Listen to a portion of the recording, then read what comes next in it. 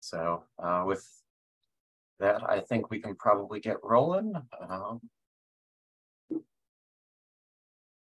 so uh, at this point, I can no longer see the participants list. So if new people pop up, um, someone will have to put them on the list. So our last agenda uh, is up. It looks pretty good. Um, I forgot to check to see if it made it to the blog yet. I know there was some weirdness with the recording. Uh, Tomas, do you know if it made it up? The the recording is up. The blog, uh, I'm not sure, but I will add the link if it is. You can okay. continue. All right. Uh, we're temporarily putting our uh, measurements and uh, metrics and guidelines on hold until we have some plans for how to actually answer some of the XYZ questions. Because I, I'm proud of our work on that doc, and I think that it's a good doc, and I think it will continue to be a good doc. But uh, at this point, we're sort of circling around for how much is X, and that's going to require some actual answers on what X's we can actually get before we try and figure out which ones we want to count. So we've got a handful of issues that are up. I'm just going to pop them all. So uh, conveniently, uh, Josh updated uh, 80 and 3, uh, I think about two hours ago. So yay, Josh, thank you. Well, I mean, I wish I wish I could say, yay, we actually have solutions, but we don't. Although three is going to have more info coming at the end of the month. Like that's actually making really good progress. Um, the other one for WSL, not so much. Yeah, I will well, I'll take I'll take one win. Yeah, yeah I, I'm I'm pulling hard for WSL because I weirdly end up touching Windows machines these days, and it would be nice if my platform of choice was available. But such is life. So well, as soon as we can, we'll see. Yeah. But uh, so I believe there was some forward motion on the uh, secure boot information where the tokens arrived and stuff. Is that right, Brian? Yeah, there's some uh, there's some governance things that uh, I'm bringing to the board. Uh, that's the the technical issues. We're not necessarily blocked on those. On the stream side, we're still looking to get a uh, one more shim review through the process before we start uh, dealing with the separate roots of trust for the SIGs and all that stuff. Uh, I'm doing that in parallel to the uh, the governance issues that'll be before the board pretty soon. Okay. Awesome. Well, I know it, it's been a long road, but it's exciting that we're continuing to go down said road. So um, I and I know that uh, you had some shakeup at the bootloader team, which definitely made that more adventurous than it was going to be.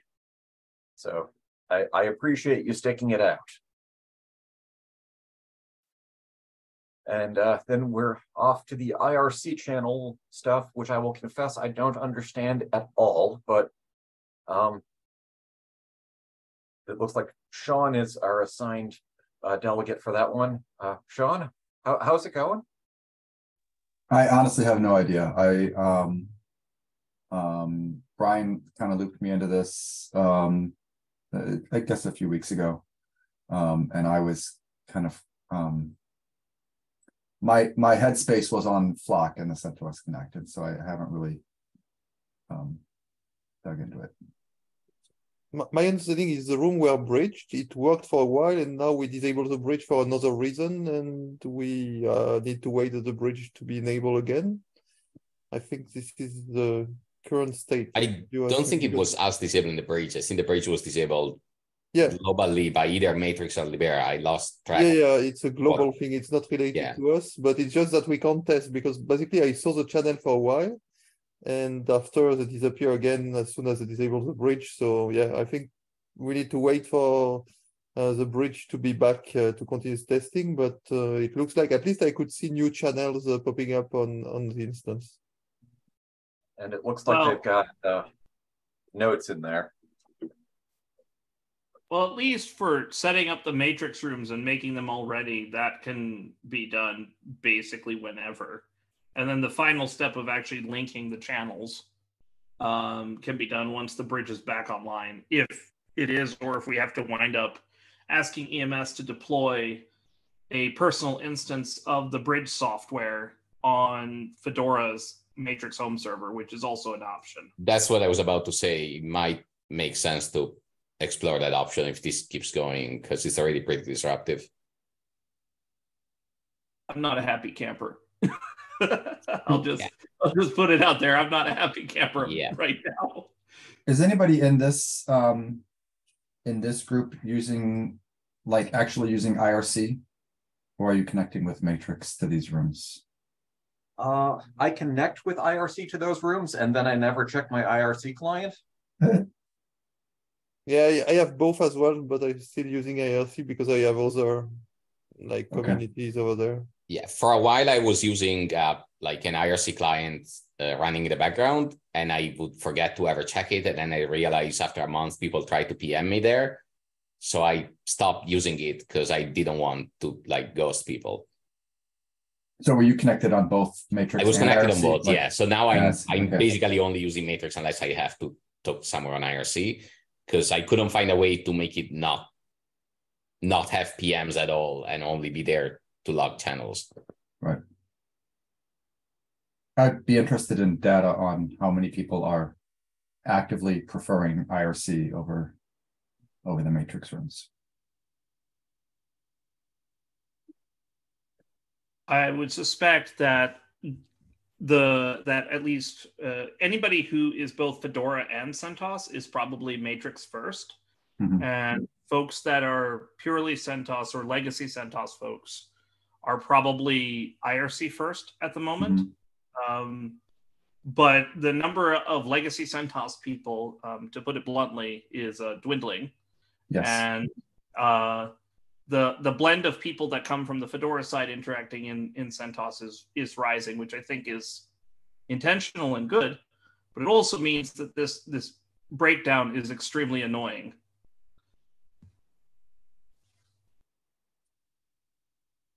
On the plus side, it sounds like people who know what's going on know what's going on, and we have a few of them. Yeah. Uh, I don't know if that's the case either.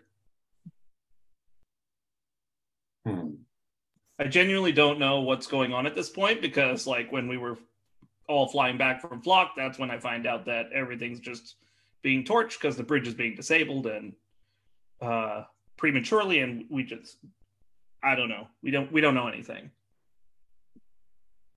Okay. I still would like for this to be processed in the sense of like, let's get our matrix rooms and get things up. But at least one of the outcomes that seems to be going on on the Fedora side is that people are now talking about getting uh, a matrix native bot to replace the IRC Zodbot. So um, there's a Fedora infrastructure ticket about it. I will uh, pass it into the chat in a moment. Cool.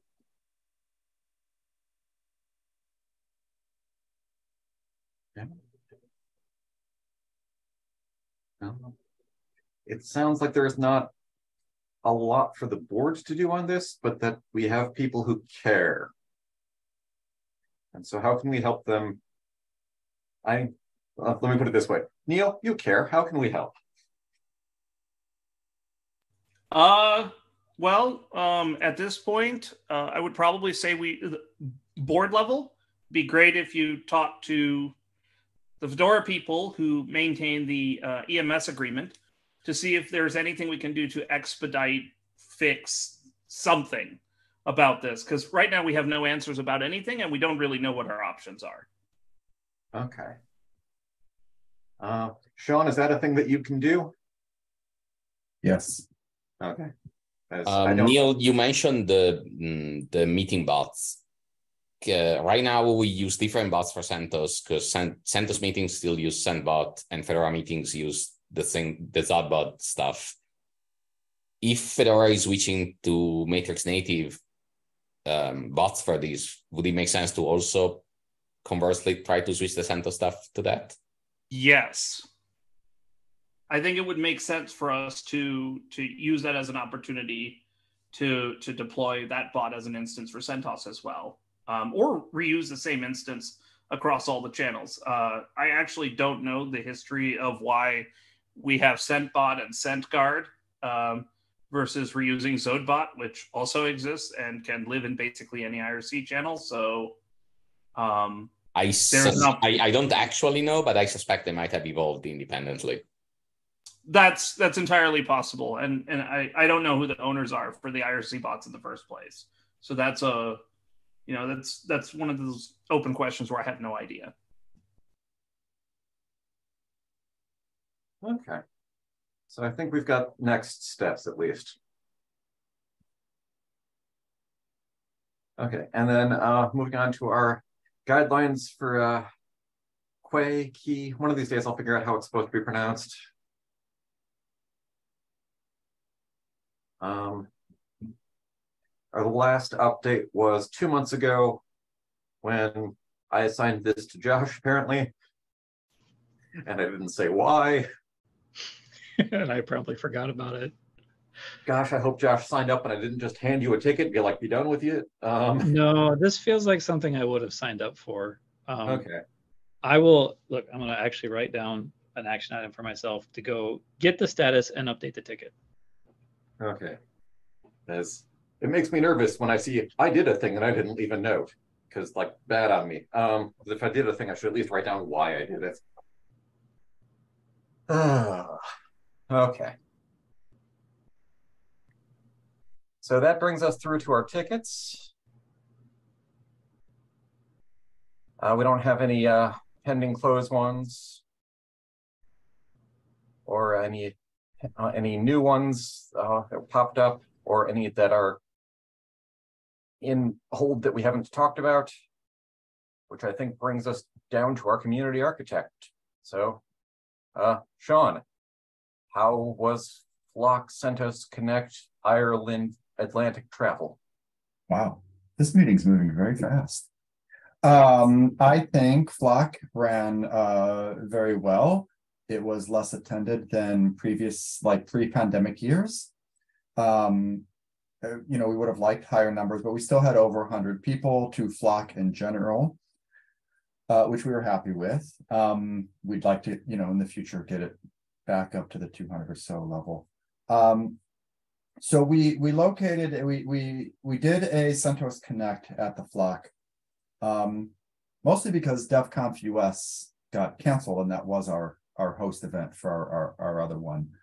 Um, and I do intend to go back and, and do um, uh, the the FOSDEM one um, as we did earlier this year. Um, I'll probably talk about that next month on on some of the planning around that. Um, so we did that, and what we ended up doing was we basically did it as an embedded track on the first day, uh, rather than a separate day event. Um, I think on the whole, it was a really good thing to have CentOS like at the Fedora event. You know, we're we're very close projects with a large overlap of of contributors, um, and that went well. Um, the the downside of doing it embedded in, um, in kind of embedded as a, as a single track is that we were competing with Fedora for space um, or for for mindshare, I guess.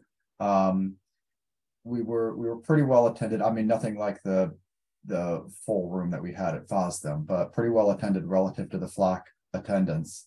Uh, for most of the day, except towards the end of the day, two of our talks had like like four people in the room, and I was one of them. Um, and because those two talks were opposite the um, Asahi Linux thing, which oh yeah, I'm assuming all of Flock was at. Is that right? It was pretty full. Yeah. Okay. it so... was. It's probably the fullest, uh, the most, at least for the sessions that I was in or participating or whatever I think it was the most packed one I've ever seen Tivoli outside of Matt's keynote. Yeah. So, you know, that's the danger. Um, that's the downside, really, of of kind of an embedded track. Uh, if we'd have done a separate day thing, then um, you know, maybe we wouldn't have picked up everybody, and there would have been people who wouldn't have come by, uh, come in an extra day early, and I'd have had to go in an extra day early to to do some setup and stuff. So, anyway, it was it, it went well. There was a lot to learn. Um, I'm gonna write a, a trip report as I do. Um, uh, a lot of conversations with people. Um, um, I'm trying to remember everything from the conversations. Uh, I had a lot of conversations with Neil actually while we waited for an hour and a half for them to bring us dinner. Um, that was disappointing. That was, that was really bad. they lost their order.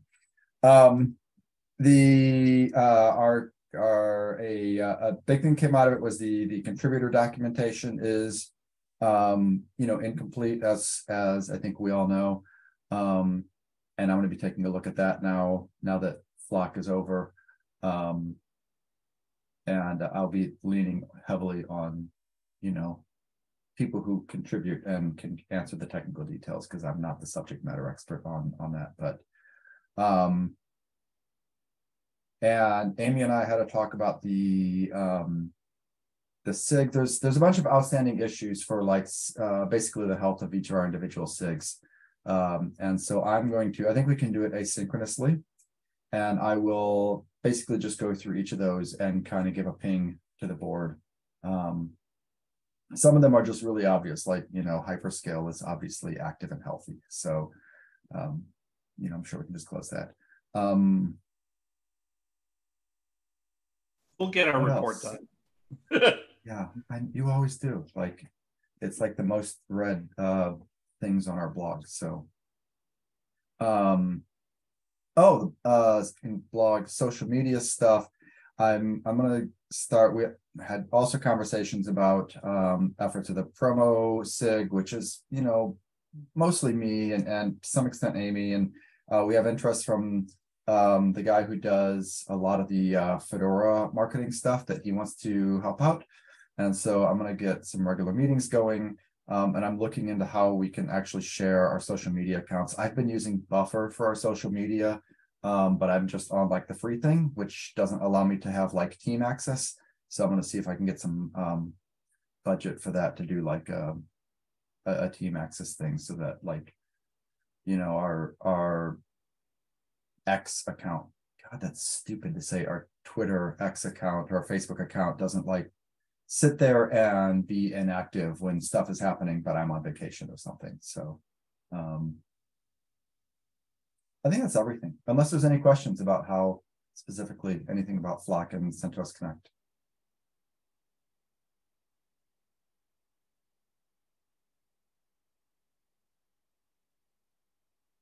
I'm going to ask a question that I asked a few people uh, in Ireland.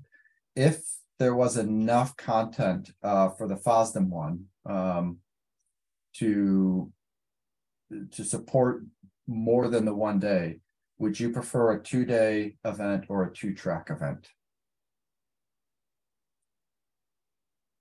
My general preference is for longer events, so I never have to pick which thing I go to. Mm-hmm.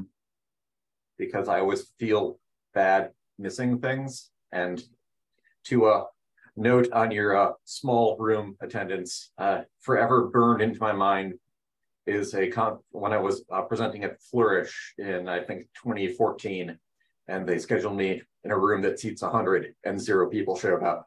Oh, that and, yeah. So I don't, I don't like to set up competing talks because then somebody ends up in that position.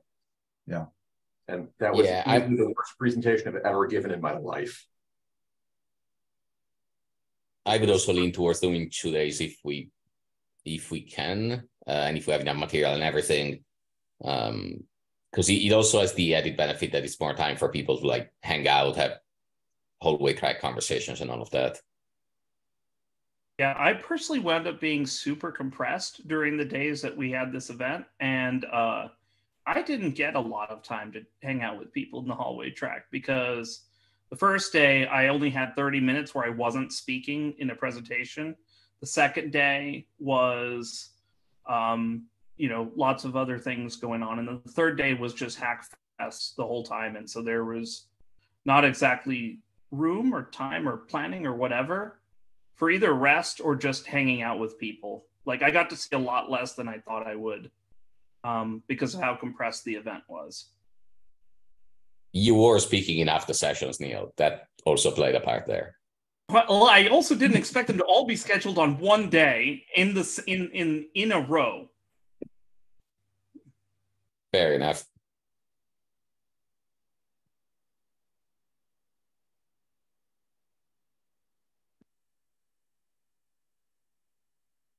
Um, actually, the Hackfest thing is something we may want to think about for CentOS as well. So when we did the Connect this year, um, Hyperscale did the meetup on the day prior, uh, mm-hmm. and we had that docs thing. Um, the day after FOSDEM, yeah. Yeah, it might be interesting to see, like, maybe we can formalize that as a thing if there's if there's interest obviously but i don't know um, yeah, if we plan it in advance yes it would be nice uh, so i can plan trip to stay a bit longer and yeah. Yeah.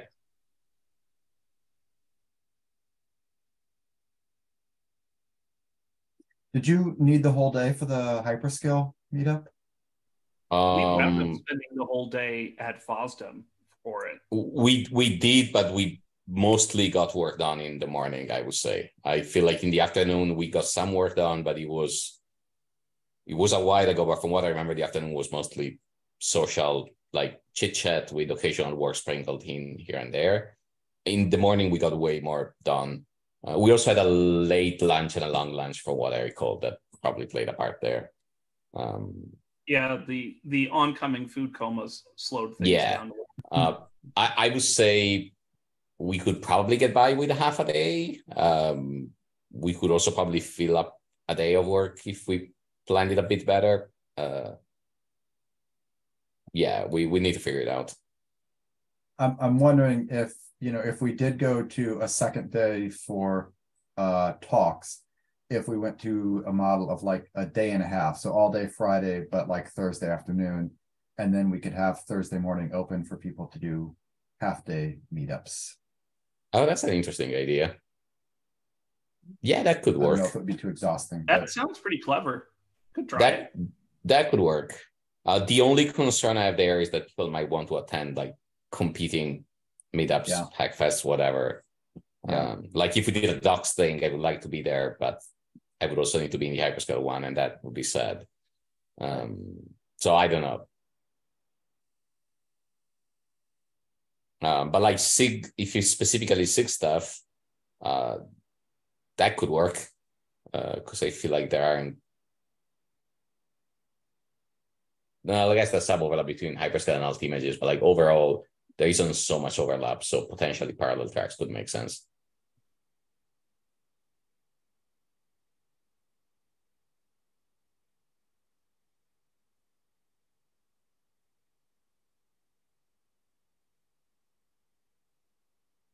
All right. I have nothing else. Okay. And I don't think we've got any pending SIG reports. Um, hyperscale is due for one that I honestly completely forgot about. Uh, we should write that. Yeah, I, I think this will be something we'll do probably this weekend, Davide. Yeah, we should do that. Uh, we'll see how my jet lag goes. Yeah. Did I, was that, that one of the ones that I sent? I, I sent reminders like before I. Oh, you you absolutely did, but I okay. got a reminder before Flock, and then yeah. Flock happened. It occurred to me that like I was like going to be out of town, like right as I normally would do it. So then I I sent them and then haven't looked yep. at them. So. I think that the Kmods SIG is also up, but Peter Georg does all of the work, and I mostly just stand around and cheer hooray. Um, Well, then you can do some public cheering. That'd be great. Right. I think that brings us to any other business. Uh, a couple of people brought up the changes in the Zoom policy, where they're going to start using us to train their AIs. And that has a number of privacy and adjacent free software type concerns. And I know uh, Davide and Sean tried to look at what are some of our options would be if it wasn't Zoom. We played with a Google Meet earlier today. Um, the um, the host controls are okay, but it, it's very tied to like who sets it up. Whereas with Zoom, we have like this team access. Um, so I, I I didn't see any way with the Google to like I can make it, and then after the fact, I can make any of you like give you admin on it, but it's it's still very tied to me or whoever it is creates the meeting. Um, at least as far as I could figure out Google. I'm That not entirely sounds confident that Google's not training AI or selling our, you know, data or whatever either. So um Yeah, the other thing I've noticed with Google was the moderator controls were a bit clunky, and it, it wasn't it wasn't entirely clear if you could do actions on individual speakers versus on the group as a whole. Um, like you could you could kill the microphone for everyone, but it wasn't entirely clear if you could kill a microphone for one person and all of that. Um, Yeah. uh, Benny mentions in chat uh, Jitsi at Alma Linux. Uh, so, do you know if Jitsi has moderator controls at all? Because all the instances kind- I've used don't. So it kind of does. They don't work very well.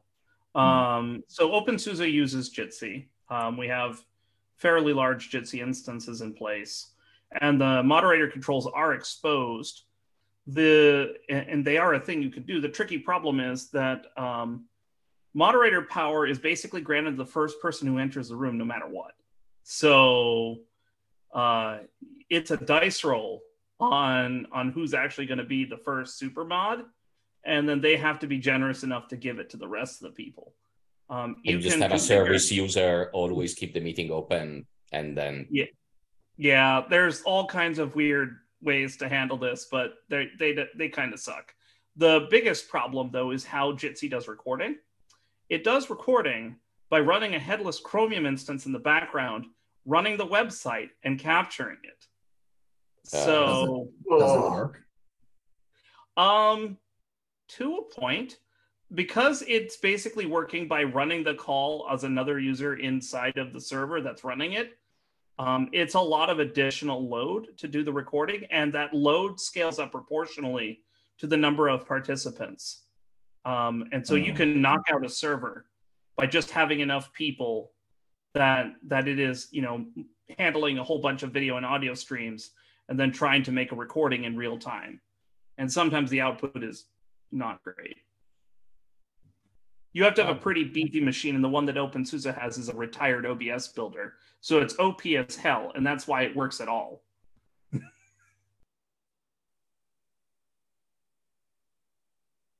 Bex. Uh, um, Red Hat is not trying to force this meeting onto Google Meet, nor is it saying that that is the only option, nor that this uh, community is required to use a Red Hat branded option. I want to be extraordinarily clear about that. I'm mostly speaking because I happened to build the meeting that you all were in.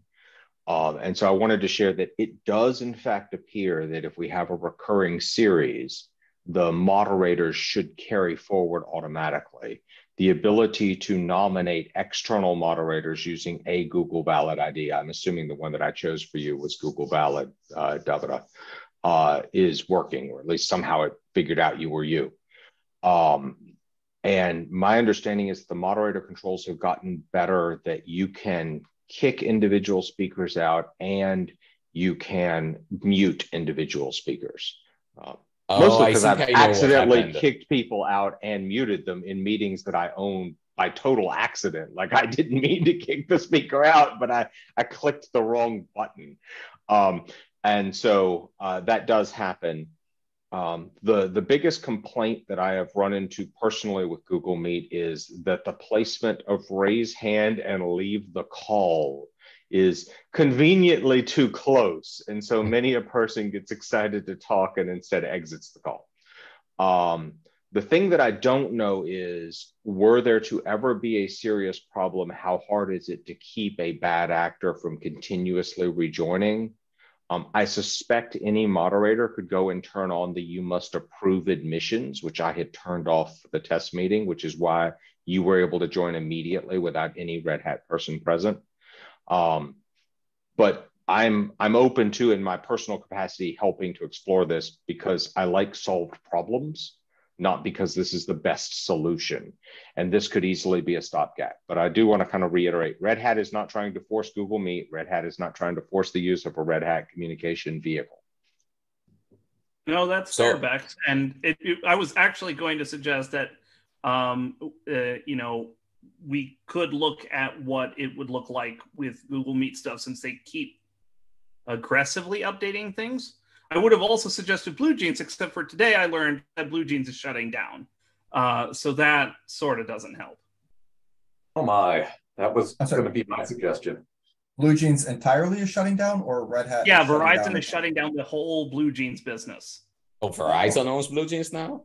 Yeah, they bought Verizon. They bought Blue Jeans at the beginning of the pandemic, and they have decided to shut it all down.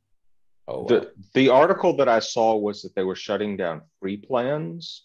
It was not the one that I saw did not indicate what was happening to paid plans. I suspect that Sean could easily get in contact because Red Hat does consume Blue Jeans for some of its work. That Sean could get an official like, what did we find out as a customer answer? Um, but the the primary consumption of Blue Jeans inside of Red Hat is not appropriate for this meeting because it does not allow um, guests to communicate. Yeah, that's a broadcast media. For, right. We used to use it as our meeting tool, but all of that has switched over to Meet, and we only use Blue Jeans for like company-wide broadcasts now. So, uh, Bex, for what it's worth, I'm pretty sure when I joined the meeting, I didn't have host privileges, and I'm pretty sure it was because you invited my work Google account and I used my normal Google account to join. Ah, sorry. And that, I, that, no, I no, that, that addresses out of the calendar invite moved along. That completely makes sense. I just realized as you were saying that you you invited me and it, it showed up, and that, that's absolutely what happened there. Okay, that makes way more sense now. Um, I'm happy um, to either walk through this with Sean because I would actually prefer that he be the owner of the meeting um, for completely selfish reasons, but I will pretend that Red Hat decided that Sean must own it. Um, but I'm super happy to like continue to troubleshoot this because I can understand the concerns that the project has around Zoom, and I'd like to ensure that Red Hat's doing everything it can to provide a stopgap while greater solutions are looked for. Yeah, yeah and we no, and that's Zoom, that's great. We, and we Sorry, also use Zoom for the hyperscale hangout stuff. So if this is going to be one of those things that we need to reevaluate, it'd be good to figure out, like, based on our experience figuring out the board meeting, whether you know I should make a change for the hyperscale hangout since I currently own that meeting as it is. The hyperscale hangout is easier, like SIG hangouts in general are easier because um, we could potentially put those on Jitsi or some other, sure. some other platform and it would probably be fine. Um, oh, and for, for the record, the other open source solution I'm aware of that would probably work is BBB, Big Blue Button. The yep. problem with Big Blue Button is that it is a sizable amount of work to deploy and like do care and feeding for that is would probably be like somebody's full-time job to do that. So it's not really something we can do as like an afternoon project for one of us. And i don't think it would be something that would be like good time for infra to spend on unless there's like a fedora decides that's something they would really like to have as well. Fedora kde uses kde's big blue button instance for its meetings so i mean and as a KDE e.V. member i can actually create big blue button meetings if i so choose so if that's an avenue we want to pursue, we can also try that. I can ask the KDE folks if they're okay with us using it, and we can actually do that. Um, I have decent experience uh, with uh, using Big Blue Button, uh, and I wouldn't have a problem with with doing that if that's the way we want to go. That's good to know. Should should we? Uh, it, it seems like there might be uh, maybe two things here. One is um, an investigation of longer term options, which we seem to have several, and the other is, uh, well, hopefully, maybe I'm being hopeful. Um, what can we do for the next meeting? Because I, I think I'd like to not use Zoom anymore. if I can help it. I have no compelling reason to use Zoom other than it was for the longest time the only thing that worked with Wayland screen sharing. Same. And I, am certainly open to the idea of uh, testing the uh, KDE instance of Big Blue Button, but I, I wouldn't want to sort of parasite off of them. Um, they're, they're a wonderful community full of great people, and if we're going to take something from them, we have to give something back. And I don't know what we would be offering. We'll cross that we can cross that bridge when we get there if if it if that turns out to be something we want to consider. There there are options on that front as well. Um I I, I don't want to presume anything just yet, but like we should try things and see what we like, and and kind of go from there because right now we we kind of don't have anything. And being on a uh, privacy respecting platform for our meetings would be nice. Yes, yes, it would.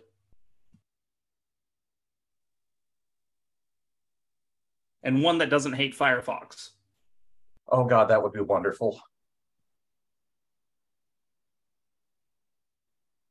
As I, uh, I, I use a non-Firefox browser only when absolutely required and with great grumbling. Um, and that might just be me being grumpy and unwilling to adapt to change, but the whole point of independent web standards was to have independent web standards. Really? I also. I don't think that's being man, grumpy. But... Uh, if that means being grumpy, I'm okay with that too. But I have. I think a lot of us old school open source guys feel a little grumpy lately. Yeah. oh, it's the, the up and coming people I know in the open source community are like, oh, just use Brave. It's great. It's like, yeah, but it's still Chromium under the hood. And I want. And the ad replacement thing with cryptocurrencies just makes me feel icky inside. Yeah. So I just I suspect that I'm not as well connected to that universe as I used to be. I think that's okay. Yeah, it is the nature of getting old.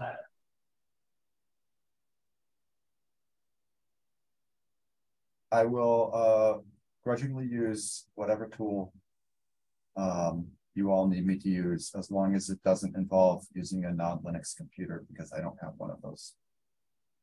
Well, good news. Nobody's suggesting Microsoft Teams. Well, you weren't in our meeting. And I mean, not, not, not to wave a terrifying flag, but the team client for Linux actually works pretty well. Um, That's disturbing. I haven't actually used it. I have no idea. It works pretty uh, well. It, it, works about as well as Slack, if I'm honest.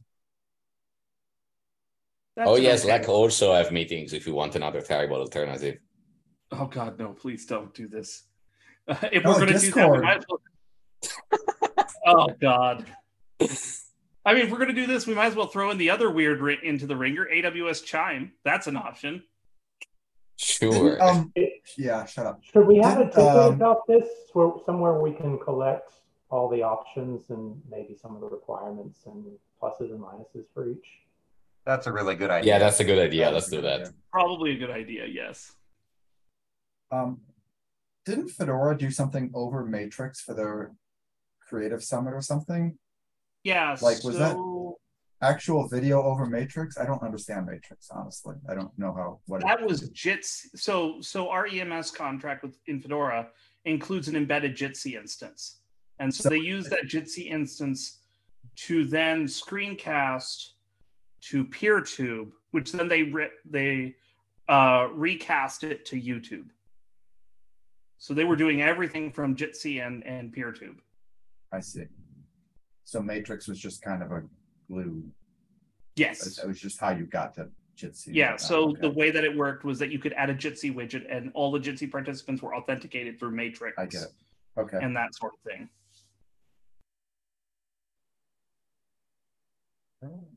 So, uh, who's going to be in charge of making and owning this ticket?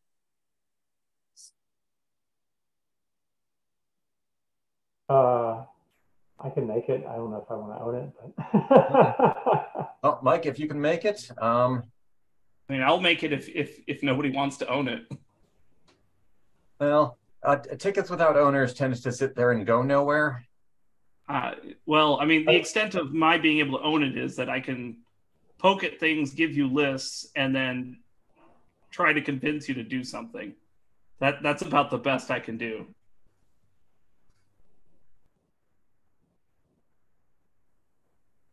I'll own it. Okay. Sean, congratulations, you own it. Yay. All right. I think that's uh brings us to our uh, next iteration of any other business. Does anyone else have anything?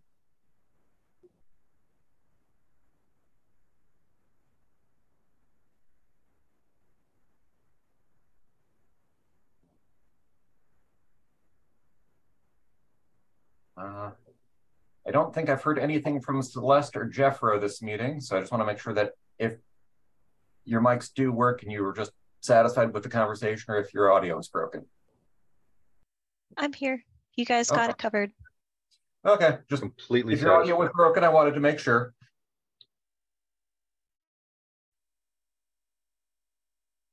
All right, then, um, I guess that you can have your fifteen minutes back.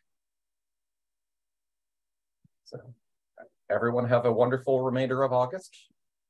And we will circle back around when it is time for another meeting. Bye, everyone. Excellent. Thanks for running. it. Bye. Bye. Bye, y'all. Thank you all.